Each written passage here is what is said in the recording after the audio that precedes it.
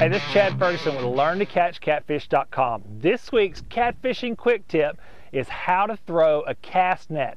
Now, there's a lot of different ways to throw a cast net. I'm going to show you what I do. Quick, easy, and effective, and it works for me. And best of all, it saves my shoulders.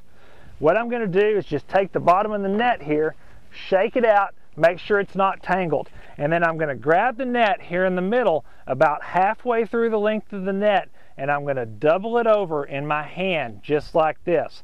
Then I'm going to take the bottom of the net and I'm going to split the weights half in two. So I have half of the of the net in this hand and half of the net in this hand and I'm just going to fold this right here over the top of my hand. Once I do that, I'm looking for this point in the net right here. I'm hung up there. Looking at the point in the net right here where my weights drop you can see here where the net is dropping from top to bottom and that's where I want to grab this net. Now what I do is the old rope in the teeth trick, just like this.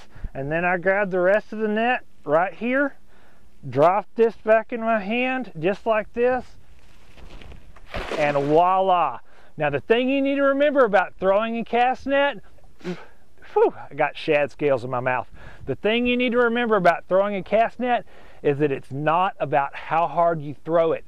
It's about the motion of the net and using that motion to open the net up when it's in the air. If you get outside and you practice at home or on the water using this method for throwing a cast net, you'll be throwing like a pro in no time. To get more tips, tricks, and information on fishing for catfish, go to learntocatchcatfish.com.